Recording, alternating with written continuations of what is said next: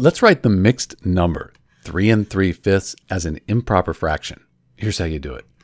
3 times 5, so we take the whole number. 3 times 5, that's 15. 15 plus 3 equals 18. Then we just bring the denominator across. So the mixed number, 3 and 3 fifths, equals the improper fraction, 18 fifths. It's improper because 18, that's larger than 5. Let's do that again.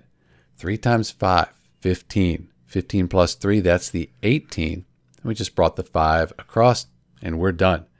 And these are equivalent. 3 and 3 fifths, that equals 18 fifths. They have the same value. It's just different representations there.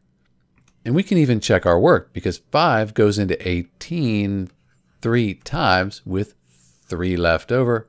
Bring the 5 across, 3 and 3 fifths, and that is what we started with.